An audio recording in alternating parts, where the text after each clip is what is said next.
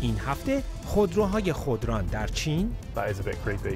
دستگیری قبل از جنایت و برداشتن بطری با انگشت ششم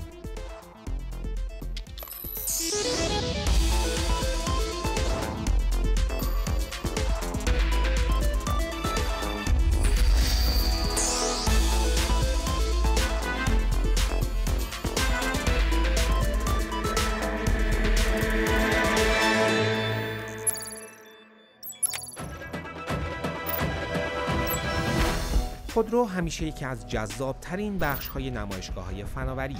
توی نمایشگاه CS که ماه پیش برگزار شد هم همینطور. امسال چیزهای جدید زیادی بود. هم توی خودروها و هم بیرونشون فرض کنید که آخر هفته خودرویی رو اجاره می‌کنیم و دو روز بعد که برش میگردونیم چند جاش خط افتاده. چطور میشه ثابت کرد که کار ما نبوده؟ این اسمش اسکنر چکه. اختراع فرانسوی است. باهاش میشه زخم و زیلی های خودرو رو چند ثانیه‌ای پیدا کرد. خودرو وقتی از بین این دو تا صفحه رد میشه تمام بدنش سر تا سر بدنش اسکن میشه. بنابراین هر گونه خراش یا علامتی اگه روش باشه ثبت خواهد شد. هر طرفش 10 تا دوربین داره. یک سامان یادگیری ماشینم یاد گرفته خطها و زدگی های بدنی خودرو رو تشخیص بده. هر چی رو که پیدا کنه با وضعیت بدنه پیش از بردن خودرو تطبیقش میده. طبعا به درد تولید کننده ها هم می‌خوره. می‌تونن باهاش ایرادهای خودرو رو در بیارن و در دنیایی که هر روز بیشتر از پیش به طور آنلاین خرید می‌کنیم به درد نوشتن صورت وضعیت خودروهای دست دوم هم می‌خوره. اما بیشتر نوآوری هایی که در صنعت خودروسازی در CES عرضه شده بود در حوزه ماشین های خودران بود. همه می‌دونن که هر کی در این عرصه از بقیه جلو بیفته احتمالا در سالهای آینده سهم بیشتری از میلیاردها دلار سود صنعت خودرو نصیبش میشه. ساخت ماشین های خودران بینقص بیشتر از اونی که خیلی فکر می‌کردن طول کشیده. همه چیز به داده های به دست اومده از آزمایش های متعدد بستگی داره. و به همین علتی که با اینکه پیشروهای این صنعت شرکت های خصوصی هستند دولت ها هم در پشت پرده تلاش می‌کنند تا مقررات سهلنگارانه تری برای شرکت های داخلی خودشون در نظر بگیرند اما رقبای اصلی کیان؟ احتمالا درست حد زدید آمریکا و چین. آمریکا در صدور جواز برای شرکت هایی مثل وایمو سریعتر عمل کرد اما ابرقدرت رقیب هم از خواب برخواسته و داره مقررات رو آسونتر می‌کنه های این عرصه از علی بابا و گوگل گرفته تا فورد و تسلا و تنسنت و بایدو همه در تلاشند که از این فرصت استفاده کنند تا الگوریتم های بهتری بنویسند و اولین خودروی حقیقتا خودران رو بسازند. برای کند و کاو بیشتر در این زمینه استیون بکت سفری داشته به کوانگجو تا به سراغ یکی از پیشتازان صنعت خودروهای خودران بره. Pony AI اینجا گوانژوست در جنوب چین حدود 120 کیلومتر بالاتر از هنگ کنگ. گوانژو یکی از بزرگترین و پیشرفته ترین شهرهای چین. حدود 14 میلیون نفر اینجا زندگی می‌کنند. گوانژو یکی از چند شهر چینه که برنامه جدی تردد آزمایشی خودروهای بدون راننده داره. این پونی آیه احتمالا اسمش رو نشنیدید ولی اینجا ماشین هاشون زیادن به خصوص در محدوده اطراف ساختمان مرکزی شرکت. الان یه ساله که در شهر سرویس تاکسی بدون راننده را انداختن. البته سرویسشون آزمایشیه و فعلا فقط خانواده و دوستان کسانی که در پونیای کار می‌کنن می‌تونن سوار بشن. خوش به حالشون شده چون فعلا تاکسی ها مجانیه. کافیه چند تا اشاره روی صفحه موبایلتون بکنین و تاکسی بدون راننده جلوی پاتون ترمز می‌کنه. این تاکسی ها فعلا در منطقه نانشا کار می‌کنن یعنی محدوده حدود 100 کیلومتر مربع که عمدتا شهریه. خلاصه اینکه جایی که بخوایم با این تاکسی بریم زیاده. یه جور عجیبیه. دستای راننده حالتی انگار که آماده است راه بیفته. یکی اونجا داره برعکس جهت خیابون میرونه. تاکسی ما یکم آروم کرد. یه نیش ترمزی زد. خوشبختانه به خیر گذشت. نکته جالب اینه که بعضی از این اتفاقات جای دیگه دنیا نمیافته. یعنی شما اگه تو آمریکا ماشین بی راننده بسازی احتمالا ماشینت برای اولین بار ببینه یکی داره تو خیابون برعکس میاد نمی‌دونه باید چیکار کنه. ولی خوشبختانه اینجا عادت دارن. هر کی هر طرف می‌خواد رانندگی می‌کنه. قدم بزرگ بعدی برای شرکت های تولید کننده ماشین های بدون راننده هر جای دنیا که باشن اینه که به جایی برسن که محصولشون انقدر مطمئن باشه که بدون راننده کمکی تردد کنه. نینگ جانگ سرپرست عملیات مهندسی شرکت پونی و تحقق این امر به نوعی مسئولیتی ایشونه. Sometimes in each uh, different city, گاهی در شهرهای مختلف شکل ترافیک و رفتار راننده ها کاملا فرق می‌کنه. مثلا در آمریکا بیشتر مقررات رو رعایت می‌کنن و مثلا موقع خط عوض کردن احتیاط می‌کنن.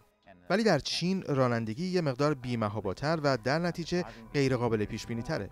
به خصوص برای دوچرخه سوارها و موتور سوارها. بنابراین ما باید حساب همه چیز رو بکنیم. so you need to put everything into consideration. و این نکته که اینجا زیاد میشنویم که داده های چینی ها غنیتر از داده های آمریکایی است.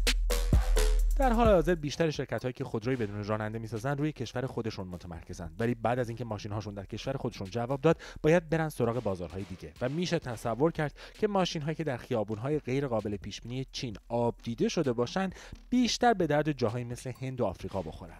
Pony AI was founded in پونی ای آی دسامبر 2016 افتتاح شد. یعنی ما سه سال بیشتر تجربه نداریم. ولی همین الان هم تقریبا با بهترین سازنده آمریکایی خودروهای بدون راننده رقابت می‌کنیم. فکر می‌کنید اینکه خیابون‌های آمریکا یه مقدار قابل پیش بینی تر از خیابون‌های چینن باعث میشه اونها زودتر به رویای ماشین کاملا بدون راننده برسن یعنی کارشون در آمریکا راحتتر از شما در چینه راستش به نظرم برعکسه. برای اینکه کار اینجا سختره. یعنی هر یک کیلومتری که ماشین بدون راننده شما در خیابان‌های چین بره بیشتر از ده کیلومتری که یه خودروی بدون راننده در آمریکا بره ارزش داره. و به همین علت هم هست که ما می‌تونیم سریعتر پیشرفت کنیم.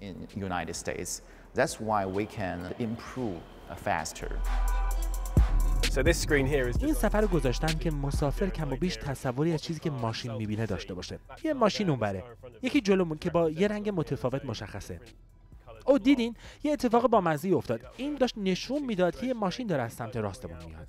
ولی ماشین ما خودش رو کنترل کرد و نیازی نشد راننده کمکی وارد عمل بشه. ما قراره بریم اینجا. فکر کنم به این خاطره که گیج شده. داره فکر می‌کنه. این طرف داره میاد سمت ما. آدمیزاد هم تو همچین موقعی گیج میشه. با این همه صدای بوق و این حرفا. ولی می‌تونید بفهمین چرا گیج شده. برای اینکه می‌خواد بره این تو و ترافیک خیلی سنگینه. فکر کنم منم اگه پشت فرمان بودم همین کارو می‌کردم. راستش واقعا حیرت کردم. چند تا موقعیت ناجور رو رد کرد. یکی داشت تو خیابون برعکس میومد ولی ماشین ما هیچ حرکتی که آدم احساس خطر کنه نکرد که به نظرم مهمترین نکته است. نمیگم مثل راننده واقعی بود. بالاخره بعضی از حرکتاش بعضی از تصمیماش به چشم ما که فقط به رانندگی آدمیزاد عادت داریم عجیب بود. ولی چیزی نمونده.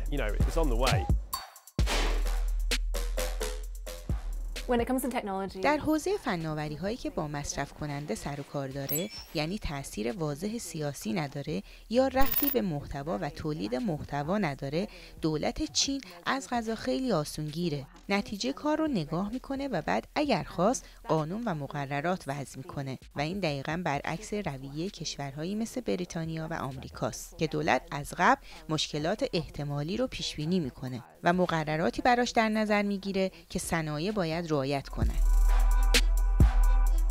واقعیت اینه که چین مدتها در عرصه فناوری خودروهای بیراننده از قافله عقب بود. ولی مثل بقیه کارا وقتی چینیا تصمیم بگیرن کاری رو انجام بدن مثل همین مورد که دیدیم خیلی سریع پیش میرن.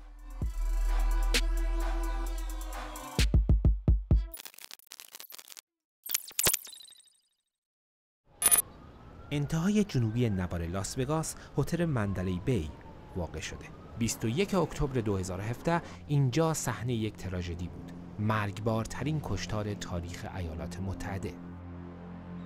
یک مرد مسلح از توی یکی از اتاقهای هتل به سمت جمعیتی که اون طرف خیابون برای کنسرت جمع شده بودند شلیک کرد. 58 نفر کشته شدند و بیش از 400 نفر زخمی. این رخداد باعث شد که تدابیر امنیتی شهر به طور کامل مورد بازبینی قرار بگیره چیزی که نتایجش تا به امروز هم کاملا مشهوده. اما سوال اینجاست که آیا میشه گامهایی فراتر از این برداشت؟ ریچارد تلور رفته سراغ این که آیا میشه جلوی عاملین چنین وقایعی رو قبل از اقداماتشون گرفت؟ مسئله اینه چطور میشه امنیت پایتخت سرگرمی و تفریح دنیا رو برای اشاق این شهر حفظ کرد بدون اینکه تبدیلش کنی به قلعه امنیتی که جایی برای خوشگذرونی نذاره The PatScan multi-sensor covert threat detection platform is a next-generation security solution.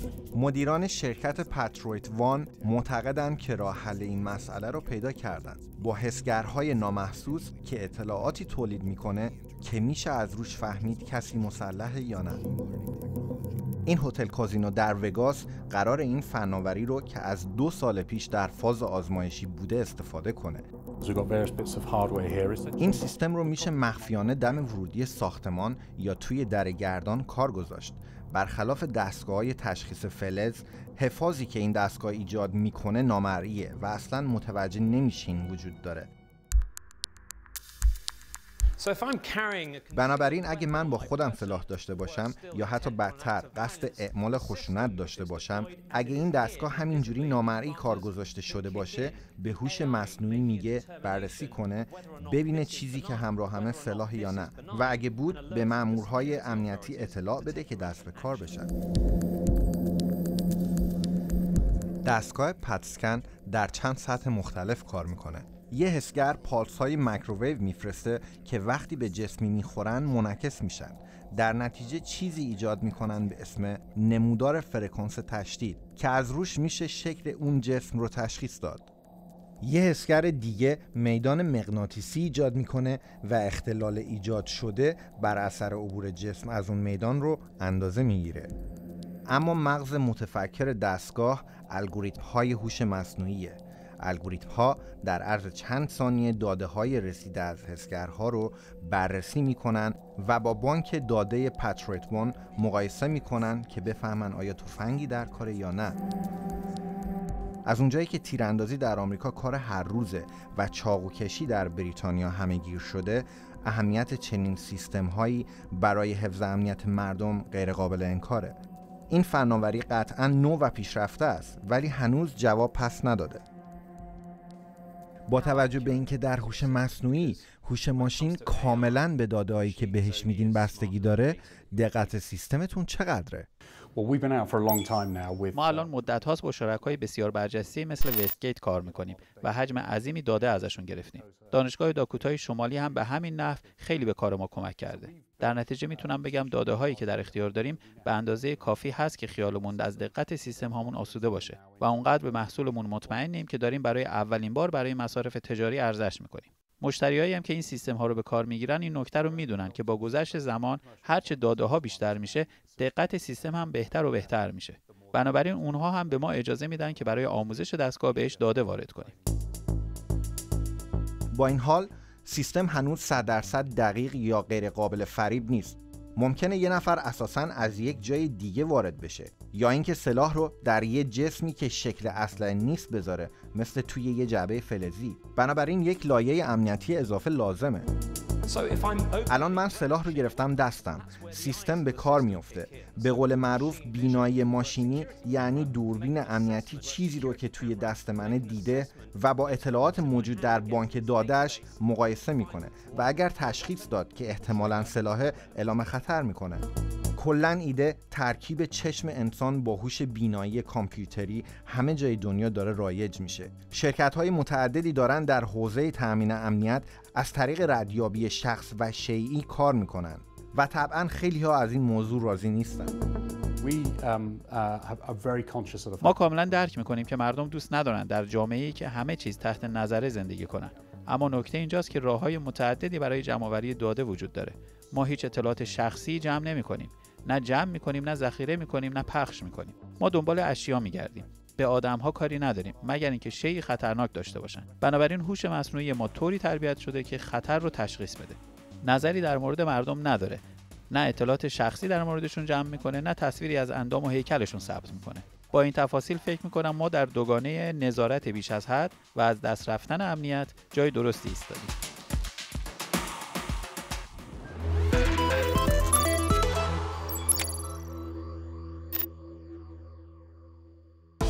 این هفته گوگل در واکنش به جریمه دو میلیارد پوندی از سوی کمیسیون اروپایی خواستار تجدید نظر شد. ادعا شده که این شرکت از قدرت خودش برای تبلیغ خدمات مقایسه خریدش نسبت به دیگران سوء استفاده کرده.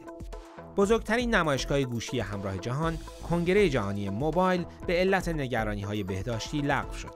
این تصمیم پس از اون گرفته شد که شرکت های مشهوری از جمله نوکیا، LG و وودافون از حضور در این همایش خودداری کردند. کنگره جهانی موبایل سالانه بیش از 100 هزار شرکت کننده رو در بارسلون گرد هم میاره.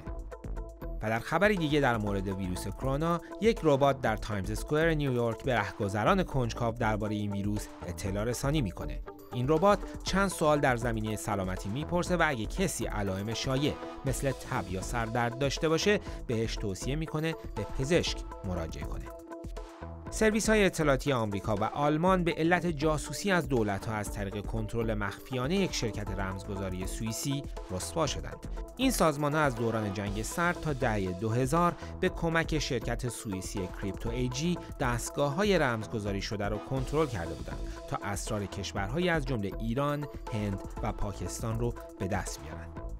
این هفته همچنین نخستین آزمایش های بالینی یک ربات خونگیر روی انسان آغاز شد.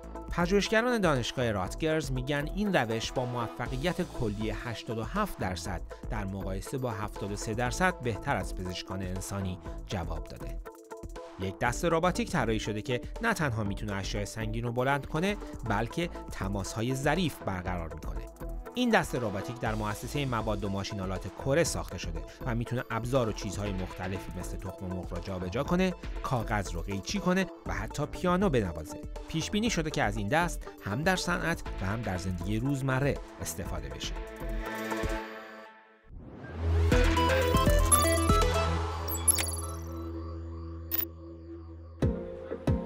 با اینکه یک ماه از CS گذشته اما هنوز چیزهای زیادی از این نمایشگاه مونده که بهتون نشون ندادیم.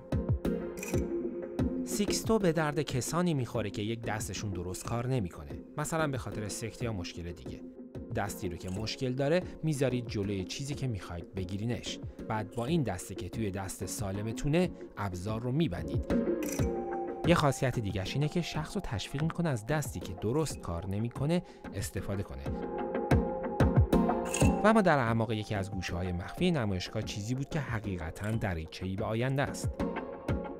این لنزیه که واقعیت افزوده هم داره. ظاهرش مثل لنزهای عادیه ولی به درد کارهایی مثل ترجمه همزمان می‌خوره.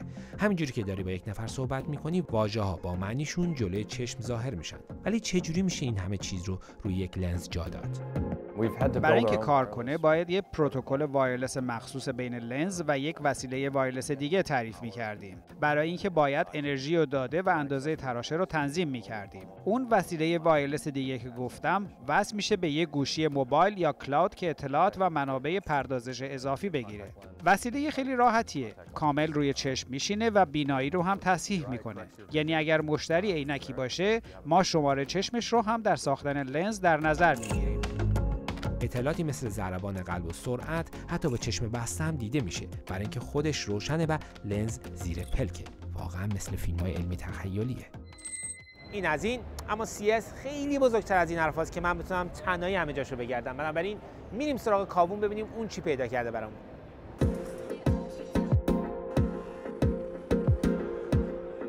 در CES چیزهای دیدنی خیلی زیاد است و چشمگیر. ولی من فقط به دیدن بسنده نکردم و با دست و چشم و بینی و دهان هرچی فناوری پوشیدنی جدید بوده امتحان کردم تا ببینم چطور کار می‌کنن. محصول اول. ظاهر شبیه عینک است ولی خب یک عینک نیست بلکه نمونه آزمایشی ماسک است که برای تصفیه هوا طراحی شده تا هوای آلوده را برای تنفس پاکیزه کنه. اسم محصول AOR است. تولید کننده AOR میگه این ماسک 50 برابر موثرتر از بهترین ماسک هایی است که تا حالا برای دوچرخه سواری طراحی شده. AOR از فناوری نانو و فشار هوا برای صاف کردن ذرات مضر استفاده می‌کنه. سازنده دستگاه ادعا می‌کنه که موفق شده ماسک طراحی کنه که بدون از اینکه نیاز باشه کل اطراف دهان و دماغ کاملا بپوشانه هوا را برای تنفس تصفیه کنه. AOR یک سامانه صاف کننده چند مرحله ای داره که در گام اول هوا را می‌کشه داخل. هوای ورودی پاک میشه و از جلوی ماسک میره بیرون و در نتیجه کمک می‌کنه شما در یک محیط کوچیک اما پاکیزه تنفس کنین. ظاهرا محصول نهایی از نمونه آزمایشی راحتتر خواهد بود. با وجود این اینه که می‌بینین بزرگترین اندازهش است اما احساس کردم دماغ ما گرفته. به بینی کمی فشار وارد می‌کنه و کمی هم سنگین است. فکر کنم یک مدتی طول بکشه تا آدم برش عادت کنه. ولی نکته مثبتش است که خودش با آهنگ تنفس آدم تنظیم می‌کنه. این امکان را هم داره که درجه پره ها را ببرین بالا تا هوای بیشتری داخل بیاد. باتریش 5 ساعت کار می‌کنه و قطعا تصمیم دارن در آینده اندازه ماسک به مرور کوچکتر کنن. به هر حال این ماسک به برنامه های مد نیویورک و سئول هم راه یافته. خب برگردیم به نمایشگاه و بریم سراغ محصول دیگری به نام Airbliss Plus Airbliss Plus ماسک دیگه است که برخلاف ماسک قبلی ادعا می‌کنه. اگر اطراف فضای بینی و دهن پوشیده باشه از ورود هوای ناپاک به جریان تنفسی آدم جلوگیری می‌کنه. این ماسک کوچک همینطور که با کمک صافی هایش هوای آلوده را برای تنفس فیلتر و تمیز می‌کنه با یک جفت پروانه هم مجهز است که کمک می‌کنه کاربر به راحتی هوای تمیز تنفس کنه. این ویژگی برای تنفس موقع دوچرخه سواری طراحی شده تا برای تنفس هوا به شش ها و ریه ها زیاد فشار نیاد. قیمت ایربلیس پلاس هم با ماسک های عادی قابل مقایسه نیست. بدنه اصلی ماسک 99 دلار فروخته میشه و در کنارش باید هر از گاهی فیلترهایش عوض کنین که البته باید از خود شرکت خریداری بشه. البته سازندش گفته قرار نیست فیلترها هزینه خیلی زیادی برای مشتری ها تحمیل کنه. اینکه چه اندازه می‌تونید از یک فیلتر استفاده کنید بستگی به آلودگی محیطی داره که در آن زندگی می‌کنید. به طور مثال اگه شما در لندن هستید شاید بتونید 50 ساعت ازش استفاده کنید. ولی همون فیلتر در دهلی نو شاید 20 تا 30 ساعت دوام بیاره. خوبیش اینه که ماسک به اپی وصله که بهتون میگه که چقدر می‌تونید ازش استفاده کنید و به کمک چراغ LED بهتون اطلاع میده که عوضش کنید. سازندگان ایربلیس پلاس میگن ماسک اطراف دهان و بینی را بدون اینکه صورت کاربر اذیت بشه یا علامتی رویش بگذاره کاملا میپوشونه و طوری طراحی شده که در هوای گرم نمی‌گذاره عرق کنین در ضمن ماسک به کمک چراغ‌های LED همچنین به کاربر خبر میده که کی باید دوباره شارژش کنه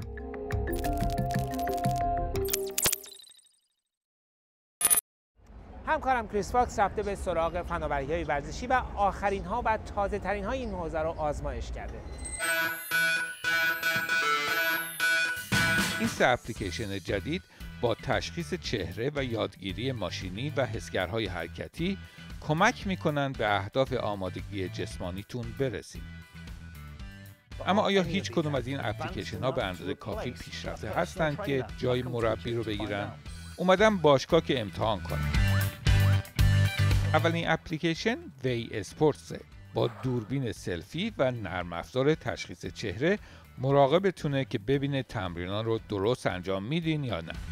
مربیتون رو انتخاب می‌کنین گوشی رو می‌ذارید چند متر عقبتر و با هدفون دستوراش رو گوش میدین Okay, great. I can see you. Here we go with push-ups today. Get into the starting position so I can see you at all times. اپلیکیشن بر مبنای چیزی که دوربین می‌بینه نظر میده که ایرادات رو رفع کنی. You call that a rep? Your hips are a bit too high up. علاوه بر این دفعاتی رو که حرکت رو درست انجام دادی میشماره که ببینی چقدر پیشرفت کردی. Nice work. How the back of the arms feeling? در حال حاضر این اپلیکیشن فقط برای تمرینای بدون وزنه کار می‌کنه. برای تمرینای با وزنه اپلیکیشن جیم فیتی رو امتحان می‌کنیم. در واقع مربی بدنسازی مجازیه. حرفم می‌زنه. تموم شد. Rest for two minutes. How many reps did you do? ده تا. Well done.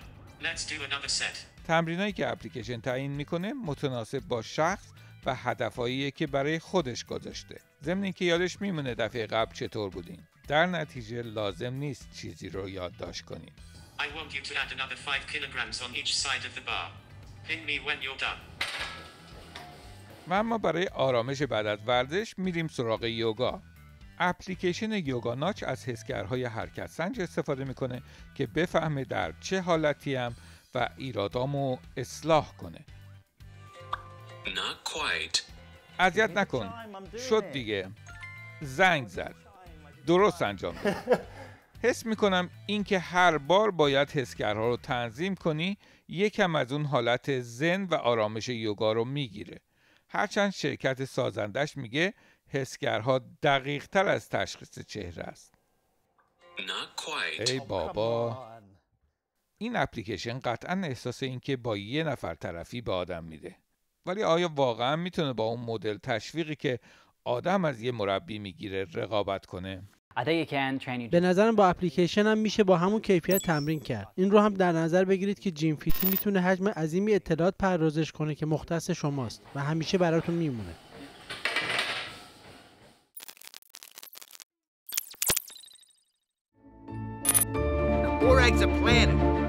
مراسم امسال اسکار با همه هواشیش به پایان رسید. اما برای ما فناوری های استفاده شده در صنعت سینما از همه چیز جذابتر بود. به خصوص جلوه های ویژه. مسئله که در برنامه های آتی مطابق هر سال بهش مفصلا خواهیم پرداخت. به پایان برنامه هفته کلیک رسیدیم. تکرار این برنامه رو در وبسایت ما ببینید. به نشونی bbcpersian.com کلیک یا از طریق یوتیوب سی فارسی تماشاش کنید. برنامه های قبلی ما هم همشون اونجا در دسترس هستند. با ما در تماس باشید از راه ایمیل persian click at bbc.co.uk و از راه توییتر با شناسی at persian click ممنون از همراهیتون تا برنامه بعد بدرود و خدا نگهدار.